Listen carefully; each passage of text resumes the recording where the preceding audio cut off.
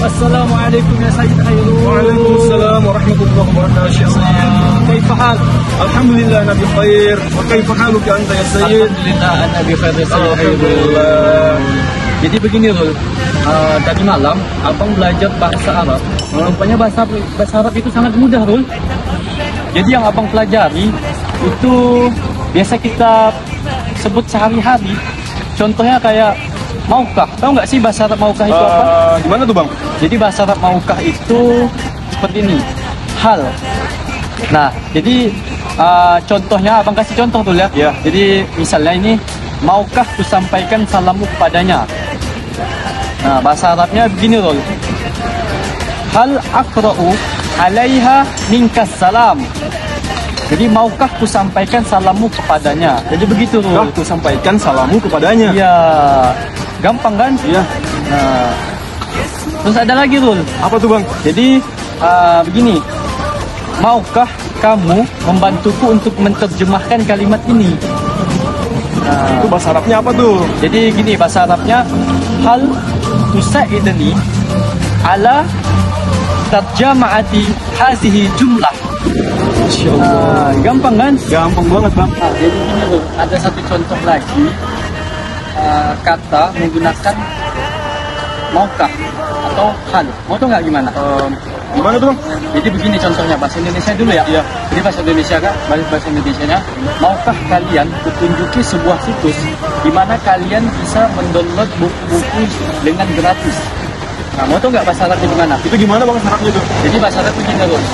Hal mudulukum ala mauki'i tuhammiluna minhu kitaban jadidan majanan. Gitu Rul. Nah, sangat gampang kan bahasa Arab kan? Oh, gampang banget. Berarti uh, maukah itu uh, awalnya itu hal. Iya, hal. Mungkin nanti kamu bisa mempraktikkannya lah kepada teman-teman kamu ketika kamu berbicara menggunakan uh, maukah. Kamu bisa menggunakan kalimat hal. Tuh. Bener juga tuh bang. Ya, mantep kan? Nah, Bang, ya, siap. Ternyata selain kata hal, ternyata kata Allah juga itu eh, sama seperti hal juga yang artinya maukah juga bang.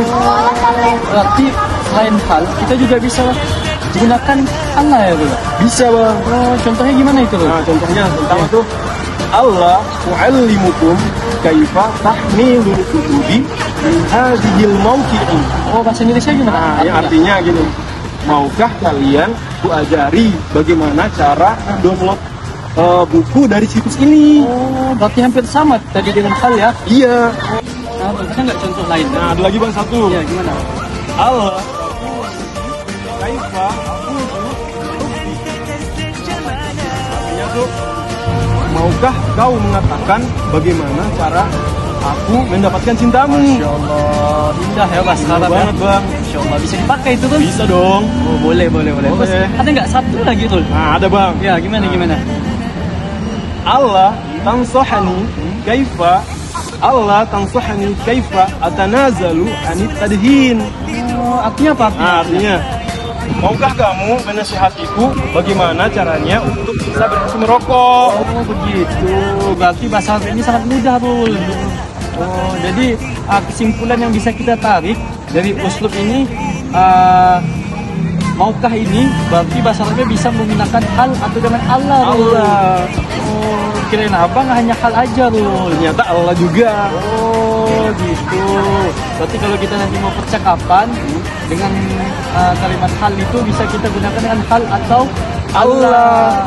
Iya, gitu. Makasih, Rul ya. Iya. Semoga bermanfaat untuk kita semua ya. Ya amin. Demikian dari kelompok kami uslub apa dengan menggunakan kalimat hal atau Allah. Semoga bermanfaat untuk kita semua. Syukron. Syukron.